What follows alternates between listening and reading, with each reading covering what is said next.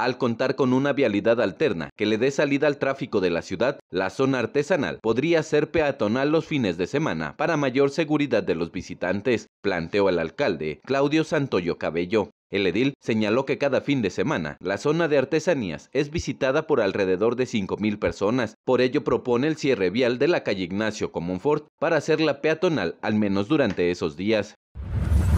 Esto nos va a dar la pauta para que podamos desviar el tráfico que pasa por la zona artesanal y ya platicando con, con los comerciantes de la zona artesanal vamos a poner de acuerdo para ver en qué horarios o qué días pudiéramos hacer la peatonal que seguramente es los fines de semana, cuando más este, clientela y más este, ambiente aquí en el, en el, municipio, en esta zona. ¿Esta calle es?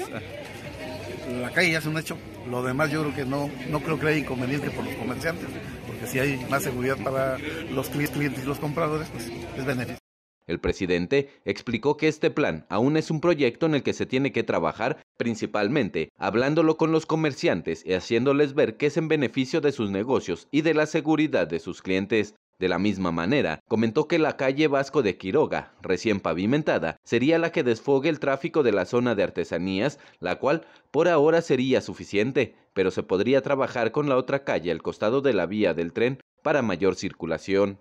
Para Noticieros Expresa TV, informó Roberto Lira.